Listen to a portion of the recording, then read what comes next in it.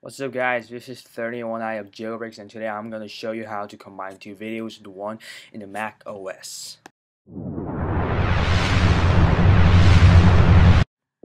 Okay guys, I'm back and I will show you how to combine two videos with QuickTime Player and as you can see I will just combine two of my videos and you have to first you have to scroll all the videos to the to finish and you have to just drag the video into the the video you opened before.